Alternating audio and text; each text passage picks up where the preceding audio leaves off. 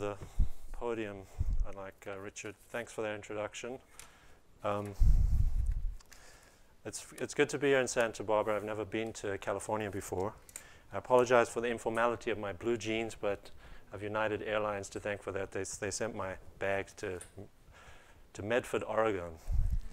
Um, and also I'd like to thank the Taubman Foundation for sponsoring uh, this event. I just want to talk a little bit about uh, the kind of work that I do as a novelist, why I became one, and uh, the subject that I'm interested in and, and, how I developed my interest in it. Um, I've published two novels, as Richard mentioned, The Lion Seeker and The Mandela Plot, but they're both really just one story. They tell the story of the Helger family, which is the fictional family um, that begins uh, in the 1920s and goes through all the way to the uh, almost contemporary times. Um, it begins with uh, immigration from a small village, Shtetl, in Lithuania, uh, to Johannesburg, the, and uh, it ends with another immigration, this time from South Africa to the United States. So it's a, it's a story that's bracketed from immigration to immigration. And in that sense, uh, as well as many others, I think that it's a, a typically Jewish story. Um, like my characters, I'm an immigrant myself. Uh, my father is an immigrant too, and his father, my grandfather, was as well. So that's three generations of us wandering the earth so far. And uh, the way things are going, sometimes I think you can't say with complete confidence that I won't, there won't be another immigration in our future. Um, it's interesting now that both uh, books have been published to, for me to look at different reactions, especially online, to what people think of the work. Uh, one, one typical reaction says, uh, the story of a Jewish South African was so intense that I think it might trigger a mood disorder. Um, perhaps strange to say, but I find that a reaction like that to be quite complimentary because it means that the work is uh, more than a superficial distraction, that it reaches deep into the reader. And that's the kind of thing that I try to accomplish with my work. Uh, when I was a kid growing up in South Africa, I used to uh, go into my parents' bedroom, and my mother was a big book club reader. She had all these hardcover novels. A lot of them were popular fiction of the day, like uh, Sidney Sheldon or Harold Robbins, but there was also serious fiction, Nadine Gordimer, uh, E.M. Forster, uh, Doris Lessing, people like that. And reading those books, at that time in South Africa, it was a very confined society. There wasn't there wasn't a lot of access to uh, to much television or much media from outs from the outside world. So so books were really an escape for me, a kind of um, a doorway to uh, intellectual freedom, freedom of the imagination, and what I loved best were the books that you, you read for hours and sort of lose yourself in and, and disappear into kind of trance, and you don't know how much time has passed until you look up and realize you've been reading for hours. And uh, I love those books so much that I wanted to, to write work like that that would have that aesthetic objective. And uh, so I decided to become a writer, and I wanted to uh, study. I, I, thought about the different options I had uh, at the end of high school. After, at the end of high school, my parents and I immigrated to Canada.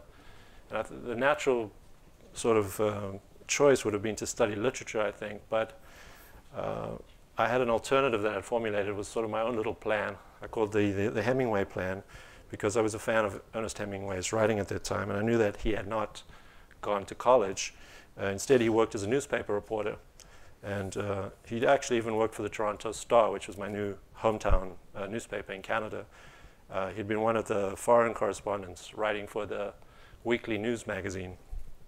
Uh, the thing about being a reporter for Hemingway was that it gave him his subjects whether it was expatriate cafe society in Paris or the bullfights in Seville or war in the Italian Alps, Hemingway could not have found any of those things if he'd stayed home in Illinois and studied uh, literature. So I decided that I wanted to find my own stories out there to write about, and, and the way to do that was to become a reporter.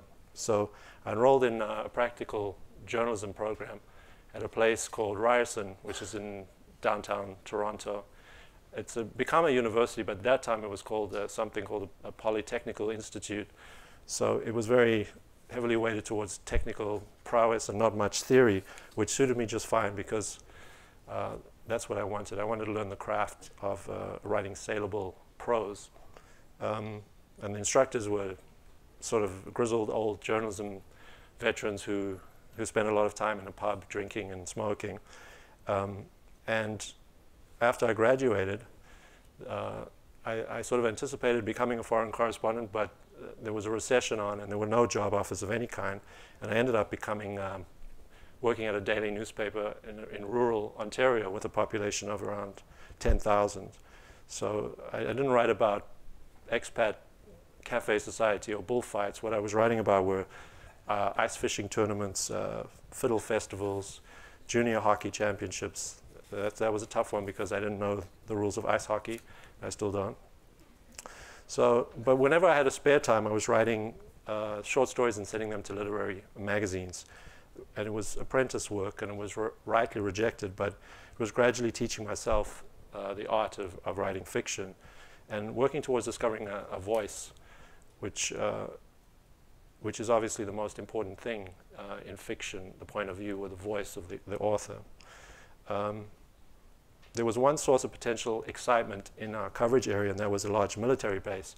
So this is back in the, in the, in the mid-90s, which uh, I would imagine most of the audience here today is probably too young to recall, but there was a civil war in Yugoslavia. The, former, the, the country of Yugoslavia had dissolved into separate parts, and there was a war raging. And what happened was um, the Canadians sent peacekeepers into that war zone to try to keep uh, to keep the peace between the different sides.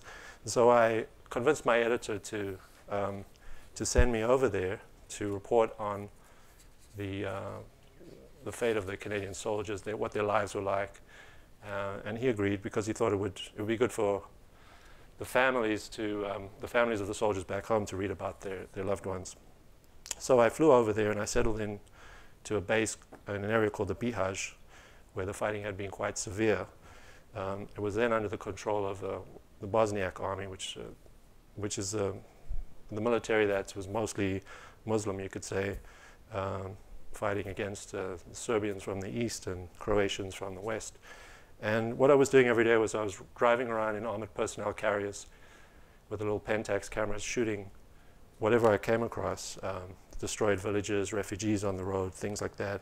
And I would file my stories back. And then one day the commander called me in and he said, Ken, we have a, a problem, which is not, you know, you don't really want to hear that in a war zone. And he told me that um, the Bosnian troops had taken note of my presence. At that time, I should say, I had very long hair, and I, and I was wearing it tied back. And um, he said that they believed I was a Serbian, and that I was also a spy, and that they wanted uh, my passport, and they wanted to interview me. So what I said to him is that I'm not a spy, I'm a journalist, and I'm not giving anyone my passport, and we had a little bit of an argument. And I remember the commander kept asking me what my background was, as if I was hiding something. And I kept saying, well, I'm Canadian, that's all, and that should be enough. But of course, that was not what he was asking. Uh, it was not enough. In the end, uh, I had to discuss my ethnicity to assure him that I was not a Serbian and that I had no familial connection with, uh, with Serbia. So I felt a little bit unsafe, and the, the assignment was towards the end of it anyway, so I cut, I cut it short and came back to Canada. But uh, in a way, I'd, had, I'd last had my Hemingway moment. I had something to write about, and I wrote a, a short novel, a novella, set in Bosnia called Peacekeepers, and it was published in McSweeney's, which is a somewhat uh, eccentric but well-regarded literary magazine, actually based here on the West Coast. Um, it was good to be able to transmute those experiences into successful work of the imagination. But I knew somehow that the war itself wasn't the primary story. The real story had been my face. It was that commander asking me, Who are you? What are you really? And I realized that my nose, my hair, my eyes, my type was recognizable in that Eastern European context. And I began to reflect more deeply on my ancestors, the people who had made me who I am.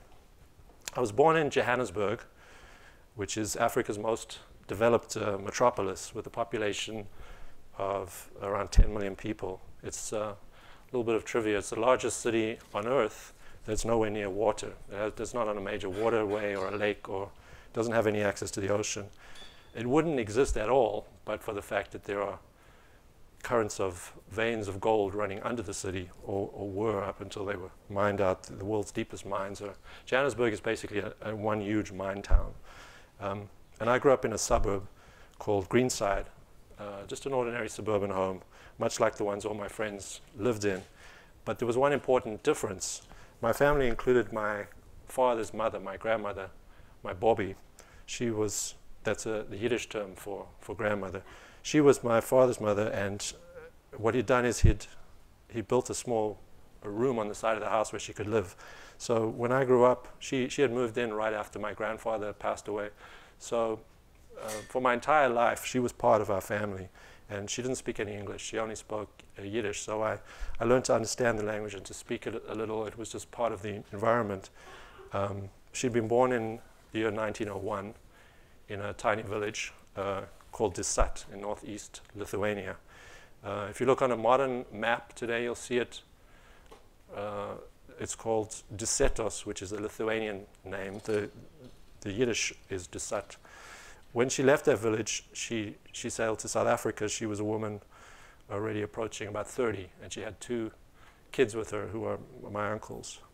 Um, her husband, Koppel, is my namesake, so Kenneth Koppel. It's uh, an, uh, analogous. Um, he, he came to South Africa um, first, and then he sent money back to bring her. Uh, in the first years of Johannesburg, he was, he was extremely poor. And the family, my father told me that uh, he used to sleep on the rolls of leather that were made for, uh, used for making shoes because they couldn't afford to buy a bed for him. Uh, but when I was growing up in Greenside in the 1980s, she, Bobby was the woman who would send me off to school. She'd be there when I came home. She would uh, cook uh, lunches for me, you know, latkes and uh, cinnamon and sugar was her big, big uh, speciality. Um, but she spoke mostly Yiddish, and what she talked about was a past that clearly was not past for her, uh, but seemed to be very much alive. Even in her 80s, after half a century of living in South Africa, she was still calling Disat Ahem, her home. And she would talk to me about this place where the lake froze and the horses raced on the ice, where the forests were covered in snow. And to me, sitting there under the hot African sun, on days much like this one, uh, Dusat seemed almost entirely unreal. It was mythical to me, a kind of fairy tale, uh, a figment of my grandmother's elderly, deteriorating mind. But then years later, when I was back from Bosnia, I had the picture of the real Eastern Europe, and I knew what a real war had looked like. The smashed villages, the tanks on those mountain roads, the old peasant women with their kerchiefs, and who had looked a lot like my Bobby themselves. And I knew that she had lived through the First World War in Dusat, and, and that's what it probably would have looked like to her. And I began to understand in a visceral way that what she was talking about was not a fairy tale at all. It was a real place with real people, and it had contained people like me, who looked like me with the same fears and hopes, the same dreams and emotions. And it, it, it wasn't uh, a black and white photo, but a full color experience. And my grandmother died in 1993, a few years before I went to Bosnia. Uh, and after she was gone, I realized how uh, lucky I had been exposed to her as a, as a living connection to that to a Yiddish world that the uh, Holocaust has all but erased from history. So I began to research the reality of where my grandmother came from and therefore of my own roots. I learned that Jews had lived in Lithuania for almost a thousand years, and that Lithuania had particular importance in the unfolding of the Holocaust. Um, so ju just briefly, uh, Lithuania was actually sort of the testing ground for the, the final solution. The Nazi leadership didn't really know um, if they could get away with, with committing genocide in an occupied country without engendering resistance in the local population. So in Lithuania in the summer of 1941, it was sort of their testing ground to see what would happen. Um, and there they discovered that um, not only was there no resistance to, uh, to, the, to, to killing the Jews, but there was actually enthusiastic cooperation from Lithuanians to such an extent that Lithuanians had even begun uh, murdering the Jewish population before the invading German military took power. Um, Unfortunately, in Lithuania today, many of those who committed the murders are still revered as national heroes because they're seen as resistors to the Soviet occupation. Um, and the Jews in my grandmother's little village, uh, everyone, men, men, women, and children, uh, including many of her sisters, my great aunts, were all killed on August the 26, 1941. They got marched into the forest and shot, and their bodies were dumped into a pit. Um, and this was done everywhere in Lithuania in a process that was meticulously documented uh, in a memo called the Jaeger Report, which is an important piece of evidence that turned up uh, after the war. Parts of this report are reproduced in my first novel. The, so there were about 220,000 Jews in Lithuania in the summer, like June of 1941, and by the winter, so a few months later, they're all gone except for a few thousand who were uh, slave to penned up into ghettos to be used as uh, slave labor. If my grandparents hadn't made the decision to leave Dusat in the 1920s, they would have almost certainly been killed, and I would never have been born. So I owe my uh, life to their bold decision to leave for South Africa. After the war, Dusat uh, fell behind the Iron Curtain of uh, Soviet occupation, and so obviously was in inaccessible to my grandmother in terms of any information getting getting out, let alone uh, traveling. Um, so the only Dusat that existed was the one in her imagination, and then that mythical frozen place became mine too, uh, gifted to me by her stories.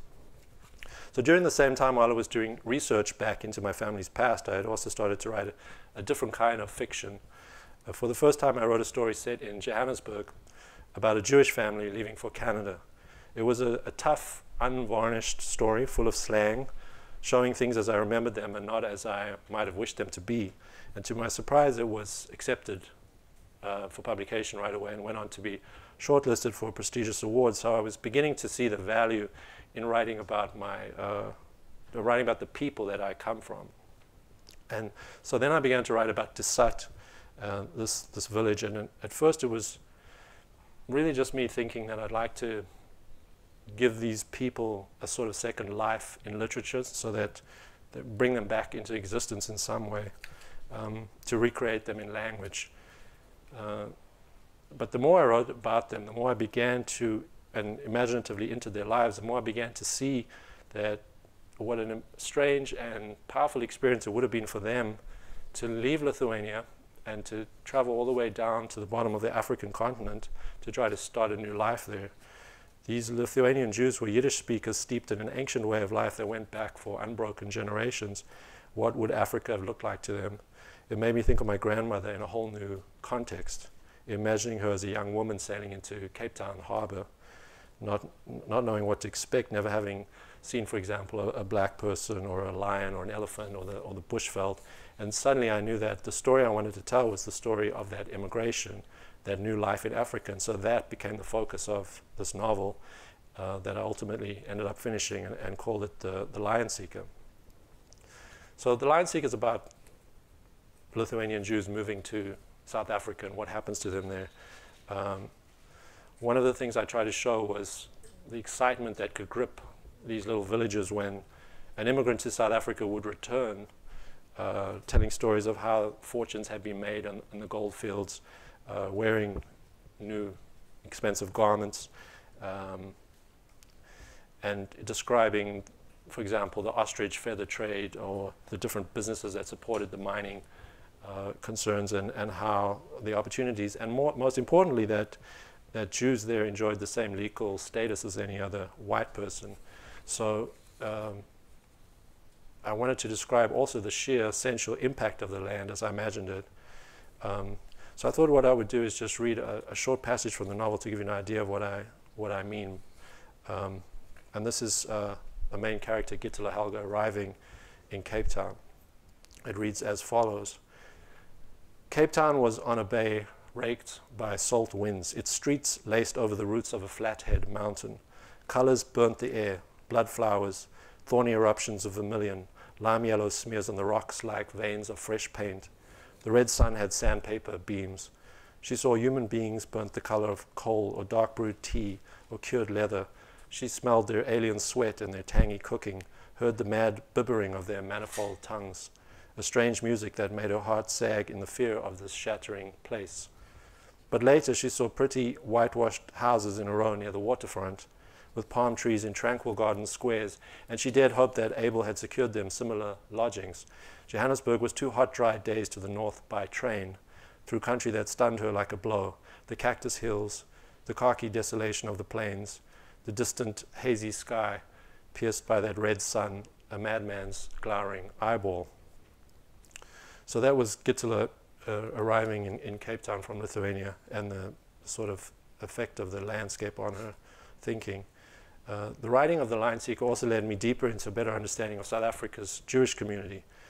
Um, even at its height, there were never more than about 120,000 Jews in South Africa, but they were an extremely successful community, always at the epicenter of major events, political, economic, cultural. Right from the start, many of the entrepreneurs who developed the gold and diamond fields were Jewish companies like De Beers. Um, for many Jewish families, in the, in the, small Lithuanian villages, especially around Ponivos and Kovno, South Africa became the literal golden land rather than the USA. Um, so as I described in, in the case in my family, uh, family members would go to South Africa, send back funds to bring the rest of their family. Um, and the result is that it, South Africa's Jewish community is an unusually homogenous one. Almost everyone comes from Lithuania except for a small contingent of German Jews who fled after, uh, right before the Second World War. Um, I mentioned that in South Africa, Jews were considered to be white, which is an important uh, point because it, they had the, the same status uh, in the political and, and social pecking order as other white people, meaning above people of color. Um, and this is unlike Lithuania, where they were able to own property in South Africa, they could vote, they could live wherever they liked. Uh, but that also didn't mean that there wasn't anti-Semitism or that Jews didn't view themselves as beleaguered in some sense. Uh, there was a great deal of anti-Semitism, especially in the 1930s, in, in, that sort of global rising tide of anti-Semitism in the run-up to the Second World War. Um, and uh, in the foreground, the novel was built mostly out of family stories, so out of memories of listening to my uncles. My uncles would visit my grandmother and sit around the table on a Sunday afternoon and uh, tell stories. And both of them were high school dropouts. They had gone into the uh, into the auto trade, and it was a, a, sort of tough world, very full of rust and grease. They were sort of raised in the inner city streets in Johannesburg, and the Lion Seeker's main character is very much in that vein, uh, a very tough, uh, sort of uneducated, uh, in some ways brutal character, um, and he works his way up to being a panel beater, which is a a body shop worker, you would say in the States, someone who, who who knocks the dents out of uh, cars that have been damaged in accidents. Um, but he never forgets the shtetl that he was born in and the family members that are still left behind. And uh, much of the plot of the novel revolves around him trying to uh, buy a house for his mother and her wishes to bring the family over from Lithuania before the war, uh, before the, the, the, the war begins and their fate is sealed. So The Lion Seeker was published in uh, 2013. Uh, my second novel, The Mandela Plot, just came out last year. Um, and in this novel, what I've done is continued and completed the story of the Helger family. Uh, I trace the destiny of the family into the next generation um, with Isaac's son, Martin Helger. Um, when I wrote the Mandela Plot, I wanted to try something different, uh, a novel that was technically different from the, the narrative methods that I used in The Lion Seeker. That is to say, I didn't want to write another multi-character epic with uh, told in the third person with a sort of poetic and detached voice. I wanted to write a novel that was more urgent and frantic in tone, uh, the kind of book that would grab the reader by the lapels and shake them as it told its story. I wanted it to be a voice novel, meaning uh, in the first person, and I knew that the, the slang of my youth growing up in 1980s Johannesburg was something that I hadn't seen captured in literature before in a way I thought it could be.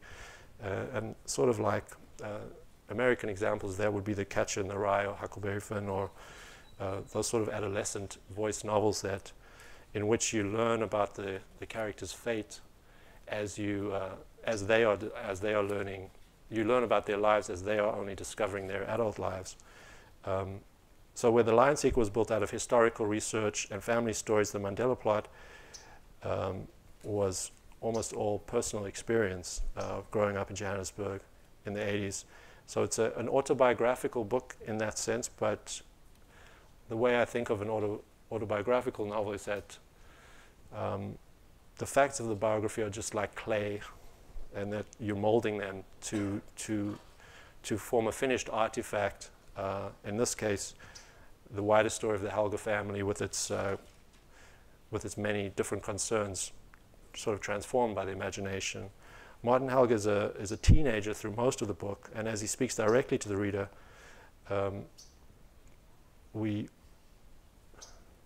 we, uh, I, we have a, a I have a choral uh, accompaniment, yeah. Um, we have to, to learn along with him. And one of the important goals of the book that I had was to, was to recreate the emotional truth of what it's like to live through a complete uh, revolution. Um, so I should just describe what apartheid South Africa was like uh, briefly. I, again, I guess a, a, lot of you are probably not old enough to, to remember those days, but South Africa was, was a country ruled by the white minority. So that means there were about 30 million people in South Africa, um, and about 3 million of them, the white, the white portion of the population, uh, was in absolute control.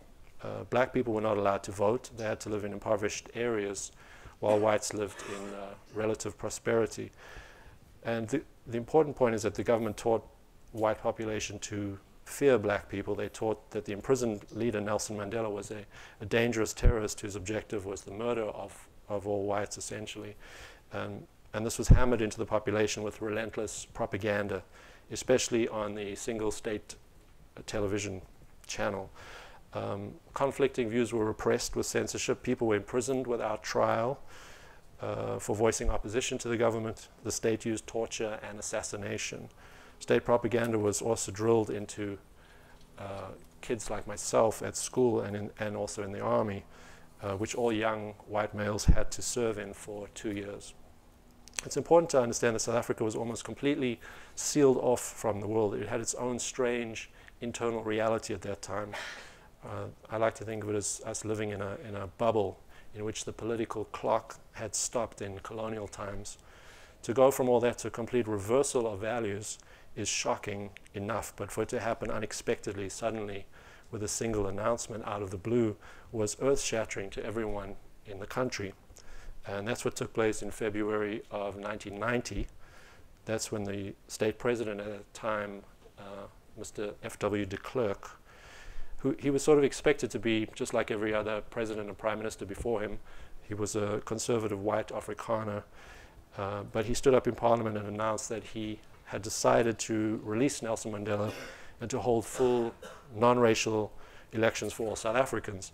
So to put that in context for, for uh, to, to understand what the impact of that was like, I would suggest it's sort of like as if the Pope had stood up in the Vatican and said, uh, everything that the church believes in is, is, is in fact completely wrong and the Bible needs to be rewritten. It was that kind of, it was, it was that shocking.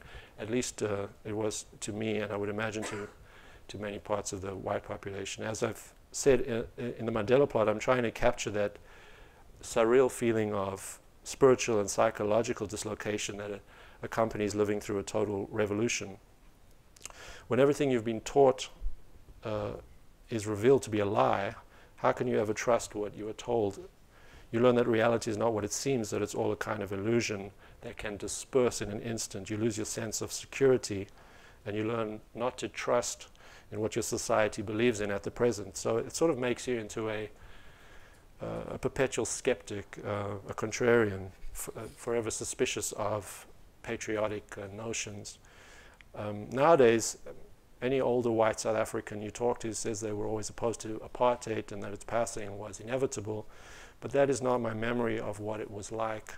Most of us were brainwashed to believe in the state and to believe that the state would always endure, that what it was doing was both necessary and justified. Um, I think of the Mandela plot as a blend of realism and near fantasy, or rather, it is realism taken to the edge of fantasy, to that overwhelming place where the impossible begins to realistically take place.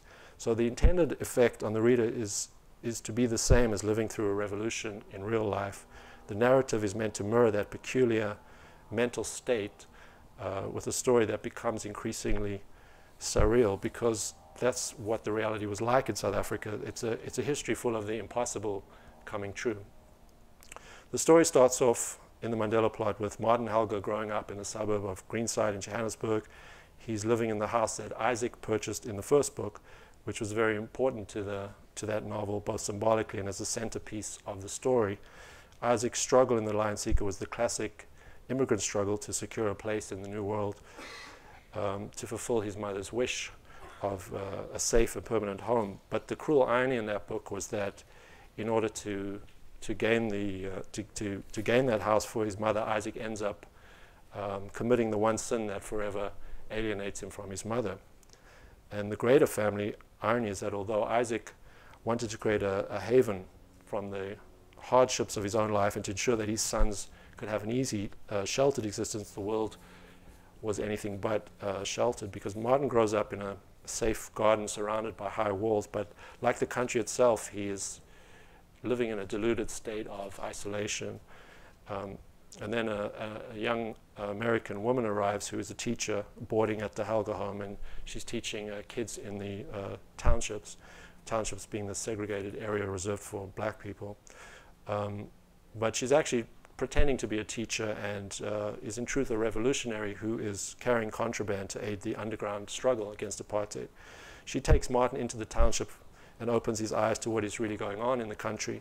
He sees the brutal injustice needed to maintain white dominance and the precariousness of the status quo. Uh, it basically shatters his whole world, and after that, he can never go back to hiding in his father's garden. He is seduced both physically and morally by this American visitor and drawn into helping with the freedom struggle, despite his qualms about some of its methods. Um, and this in turn brings him into contact with the villainous uh, police captain named Oberholzer, who it's gradually revealed is the son of a, of a different Oberholzer who appears in the first novel. Um, and this Oberholzer Jr. enacts a brutal vendetta which has disastrous consequences for the Helger's last days in Africa.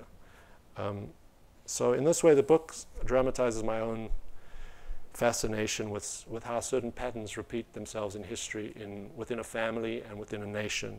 Uh, there's a sense that the past is something that cannot be broken from, uh, that the same drama is doomed to be acted out just with different players in every generation. Um, and interestingly, I think it's the act of immigration that is posited as a kind of antidote to breaking this repeated cycle. Um, it's a sort of spiritual as well as physical escape. Uh, and yet that escape could be viewed as an illusion because the Mandela Plot is very much a book about angry politics, about terrorism, about race, about a nation brutally divided. Yet the America of today, the country that Martin escapes to, is also full of these same seething elements. So this book is therefore, in a sense, also about how we live right now and here as much as, as it is about apartheid, uh, South Africa of the 1980s. Um, in the Mandela plot, I try to find a method to bring all the wider forces at play at that time uh, in the country into Martin's narrative. Um, th there were a lot of things happening. There was a, um, an underground war against apartheid, but there was also more conventional wars on the, on the country's borders um, being fought against Cuban and Angolan troops. Uh, for example, uh, there, were, there were major battles being conducted between South African forces and Cuban forces, where Fidel Castro was actually calling the shots from via phone link from Havana. There were sanctions against South Africa and the worldwide cultural movement to put an end to apartheid, and there were the issues unique to the Jewish community. Um, it was Philip Roth character said in, in his novel The Plot Against America that history is not something that happens out there. It's also what happens right here in your own living room. And I wanted to show that with Martin's life, that history is always personal, that all of these different strands do have a, an impact on one person's life. And in the end, that's what's most important about them, how they affect uh, individuals. For example, just as I got my draft papers when I was 16 telling me that I had to report uh, into the South African, uh, to the South African Defence Force, uh, whether I liked it or not, so does Martin. I avoided that fate because I was lucky enough to be able to leave the country with my parents in search of a better life in Canada. But Martin has more difficult struggles. Uh, the novel uses a technique pioneered by Dostoevsky, in which, which some critics have called polyphonic, in which characters will sort of launch into these miniature narratives within the story, sort of uh, miniature first person stories within the larger first person tale of Martin's. And in this way, we get uh, an insight into how the political system affected all levels of society, how apartheid spread its poison through schools and families and institutions. Martin attends an elite uh, Jewish private school, but even there, the school's values are enforced with violence. There's a scene in the book where the boys turn the Hagba ritual. So Hagba is a, is a ritual in a, in a Jewish synagogue where the Torah scrolls are raised overhead. Um, and in, in, in, in, this school, that ritual is turned into a kind of athletic contest in which, the, which determines who the strongest kid is. And in, it, it's kind of a symbol of how in that environment Torah values of justice and community have been replaced with what I would call more Greco-Roman values of being tough and powerful and dominant. And the school itself is sealed away behind high-tech security walls and armed guards with machine guns. And I think this is really one of the major themes in all of my work, uh, the, the struggle for justice balanced against the need to survive in a very brutal world and how characters manage that. Uh, as a writer, I don't really set out to create symbols like the lifting of the Torah and the Mandela plot, but there's a mystery to the process of writing that involves the unconscious mind. And if you're in tune with it, I think these kinds of buried meanings uh, will organically emerge. Writing novels is therefore a process of discovery, both of self-discovery and of gaining insight into the world. Um, and I think if they're done truthfully, they can be useful to readers in their own lives because it expands their understanding of the world and of other people. In some ways, I think of the Mandela Plot as a goodbye letter, um, an epitaph to that early part of my life. Writing it was perhaps an attempt to make sense of those first 18 years and to put them to rest, to escape them.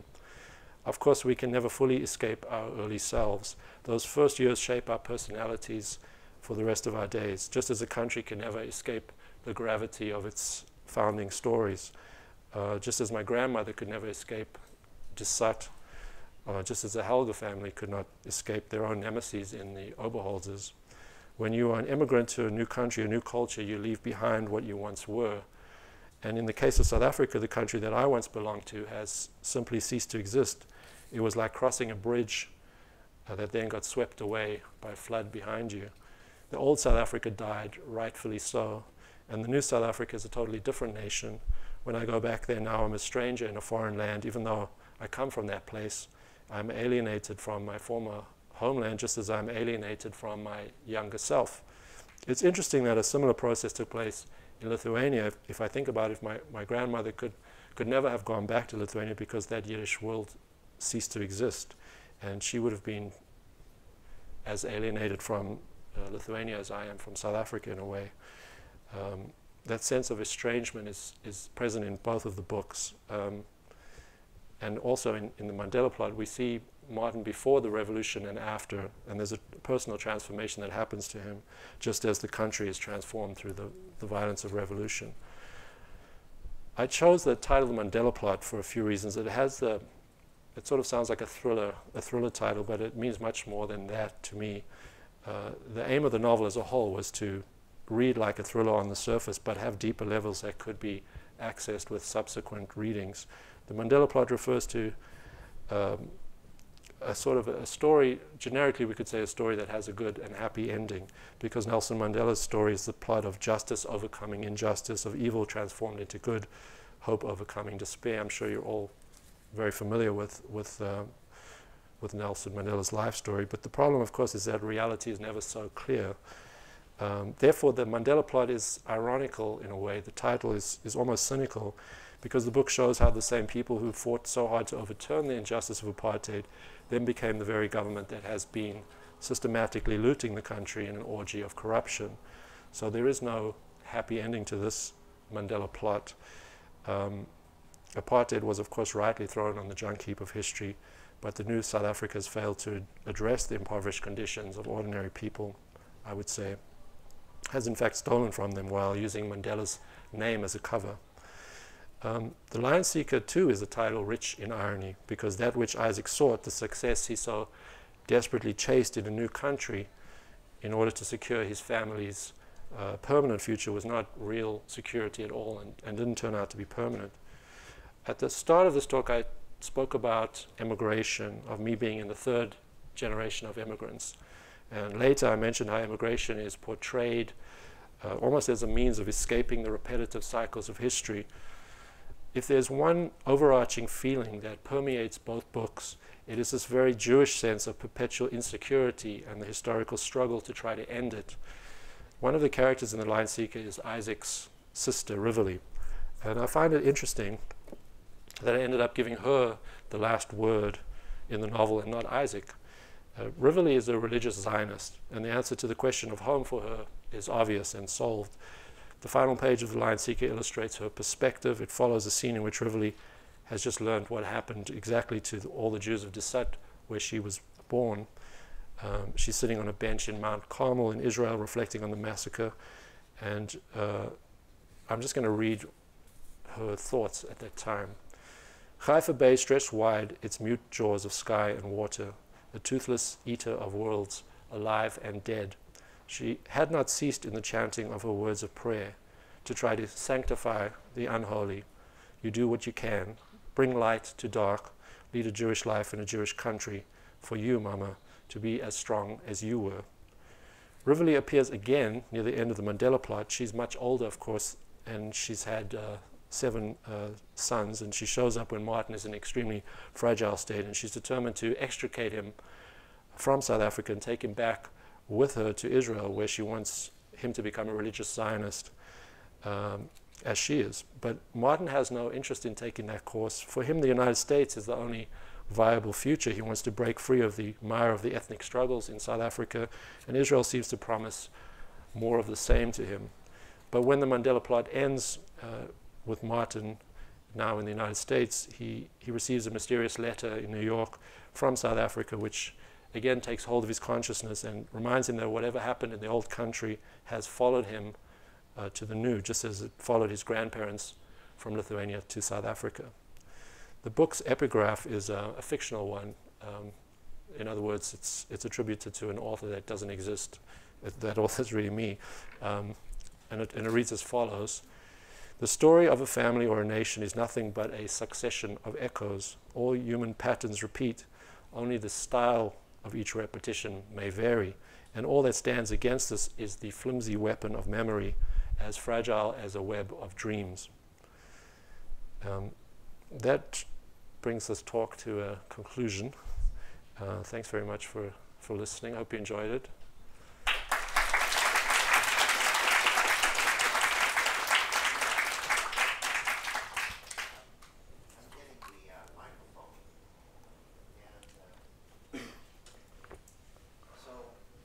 Please understand that this is going to be on UC television. And on UC television, we have to ask questions and speak into the mic so that you can become part of the vast network of the University of California stretching as far as Canada.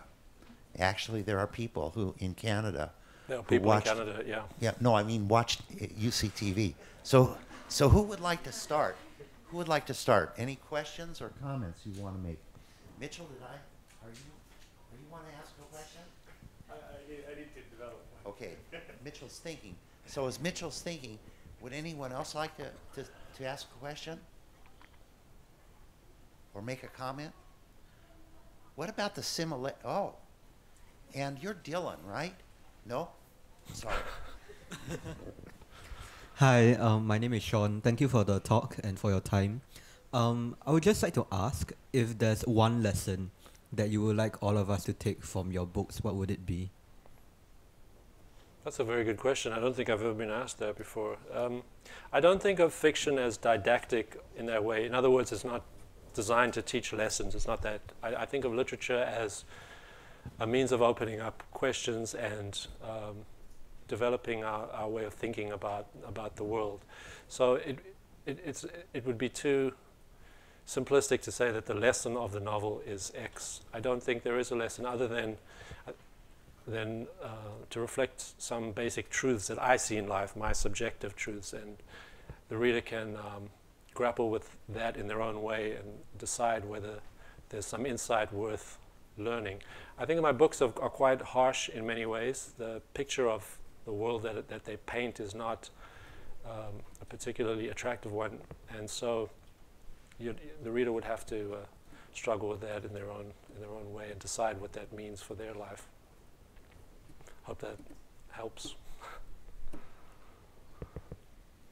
Back here with the microphone.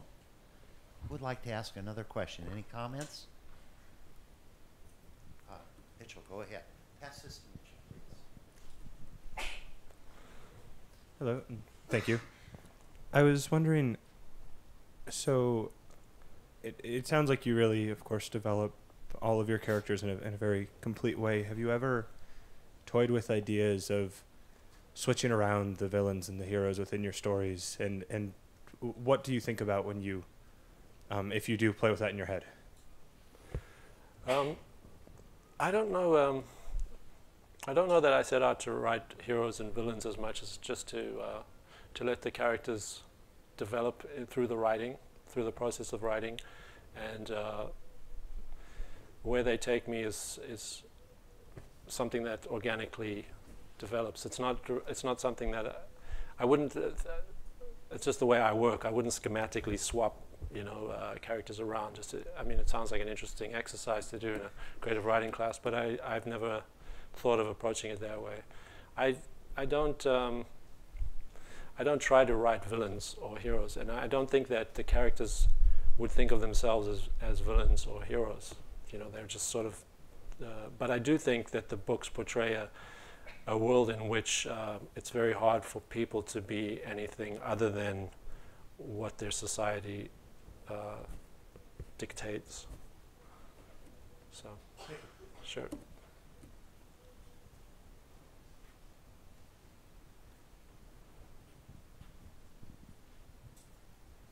Um, I know it's really difficult for somebody to pull up their roots and leave from a country and go to another country. Um, so, could you say a little bit about what was happening with your family and what made them feel that they had to, to leave so desperately? Um, well, my family wasn't in, a, in desperate straits at all. But, uh, you know, we're, we were a comfortable middle class white family in South Africa. But um, my father was actually unusually. Um, I wouldn't call him a political man, but he he didn't uh, uh, he didn't he didn't like the apartheid system at all, the government, and you know he, he, was a bit unusual in that we we didn't have a maid, for example, like most white families would automatically have a maid. We didn't have one. He preferred to do all the manual work himself, and he always wanted to leave, um, but you know there's a tension between the comfort of life and he, his uh, professional life and uh, wanting to start a new life over somewhere else. It took him a, lo- a, long time to, but the situation got so drastic. And I think also a big factor was that I was getting towards the age where I would have to go to the military at the end of high school, and he didn't want that. So it came to a sort of crisis point in the late 80s where the, the situation was clearly not tenable. Um, there were bombs going off and so on. That's all described in the novel. And uh, so he just, uh, he was able to. Yeah, I mean, it didn't look like a, I, I, it didn't look like apartheid was going to go anywhere anytime soon when we left. Like it was actually the height of the, height of uh, the anti-apartheid movement. It was like '89 around there. So I, I, don't I don't think my father saw and my mother either saw any future in the in the country for me. So uh, they made the move. That's that's really the story there.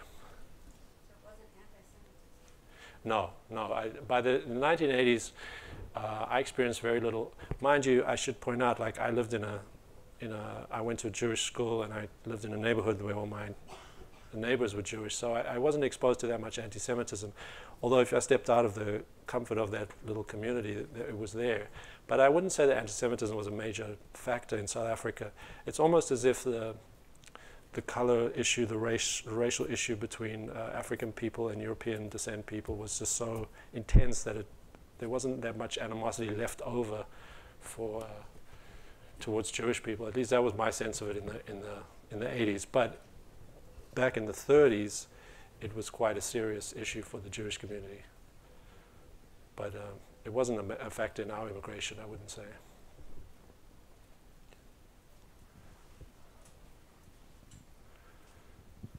Hi, uh, thank you very much for uh, coming and speaking today. I really enjoyed it. Um, you touched a little bit about how um, the title of your of the second book, The Mandela Project, is a bit ironic. Um, could you like elaborate on like the current state in South Africa and where you see the country going?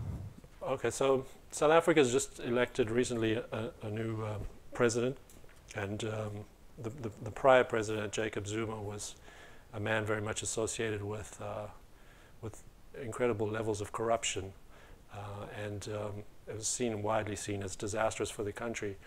Um, Ramaphosa is supposed, supposedly turning a corner and and uh, going to deal with corruption, but he's still surrounded by many of Zuma's uh, people, the same people that were close to Zuma. So I'm skeptical whether that the, the situation can change, and I and I'm worried that um, there'll be a, a move towards a more populist and angry politics because people are running out of patience if they haven't already, and they they want to see change in their lives that that hasn't been delivered, uh, and so I, I worry about that. That that uh, a kind of there is a, a populist figure on the horizon um, Julius Malema, um, and it seemed like he could be a kind of Trump-like figure in the sense that he could uh, take over the, the party from within. And um, I'm, I'm just using the analogy of Trump because of the way he uh, appeared at the Republican convention and was able to sort of hijack the party from out of nowhere. He wasn't coming up the Republican ranks in the same way I think Malema could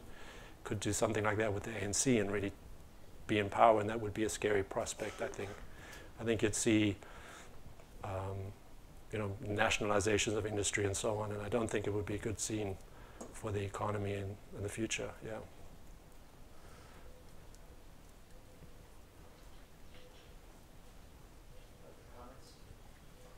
Take this back to Sydney. Hi, thank you for coming today. Um, so actually, that was kind of like a good because I had a question about kind of like current politics. So, kind of looking at the process of immigration through your personal experience, how do you perceive like the current process that's occurring in the political climate of today? How do I perceive the the political climate in this country, or Just like in like through your experience of like immigration and how it's kind of changed over the courses, how did how do how do you perceive it as different or the same from what you experienced? Um, well, immigration is clearly now the, if not the, one of the major, if not the major issue, it seems around the world, um, and uh, it's uh, it's a it's a very complex uh, subject. I, I mean, I'm not sure that I'd have to really give a lot of thought to it. I think that, for example, just just off the top of my head, I mean, if I think about immigration one of the things that's changed so much uh, is that in the in the olden days when people the olden days when people used to in the past when people immigrated they would leave their country behind in a very categorical way because there was no way to, to keep in touch with uh, their former homelands. Today because of technology it's almost as if immigrant immigrant communities are so connected to their homelands that there's not that same level of assimilation perhaps. I don't know. I don't have data for any of that stuff, but that's just a, th- a, thought. So it means that the whole issue of immigration is, is, is much more thorny and problematic, perhaps, than it was in the past. Um, it's a very complex uh, uh, subject, a bit, a bit, too broad for me to, to take on.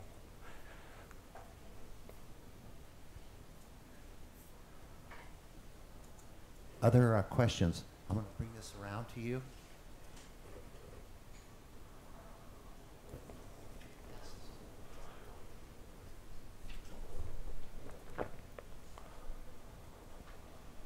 Did you write in the genre of nonfiction?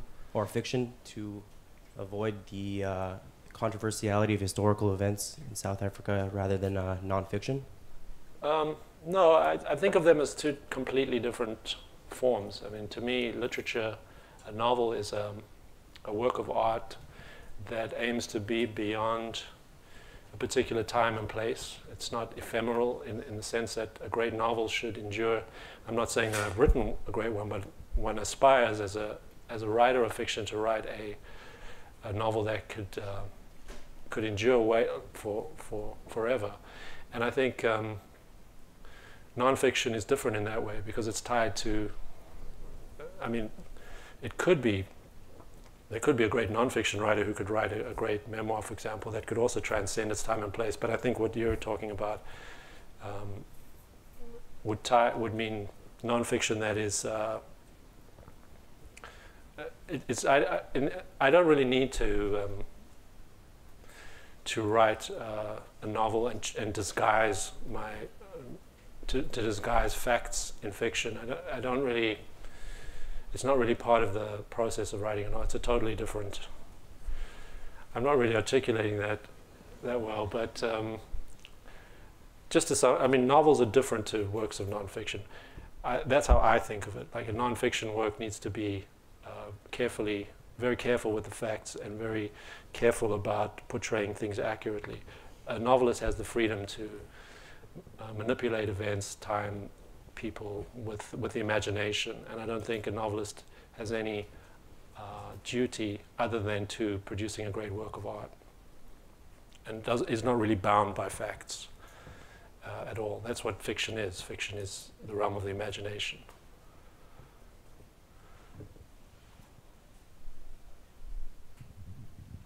Um, well, I'd like to say something. Um, I think you've pre- presented, uh, Kenneth, an extraordinarily um moving presentation, and I think in several of the questions, the undercurrent has been immigration here and the situation we face. Um, and uh, so this is a very, very, I felt liberated that we could talk about it with you. And also, in part, one of the things that the Taubman uh, Symposia always tries to do is to provide us with views on the great diversity of the Jewish people, their history, the places they've lived, the cultures they've made, and most significantly, their interactions with the people around them. So you fulfilled, I, I think, the, the best goals of the Taubman Symposia this afternoon, and I'd like to thank you for coming from uh, Toronto, where it's so beautiful, and it's probably really hard to get you out of there in January Oh, yeah. to come to this so difficult here. Uh, we're all dressed up with several layers of clothing and hand warmers, gloves. it's difficult, I know, but Well, th- thank you very much for having me. I, I Yeah. appreciate it. okay. Please let me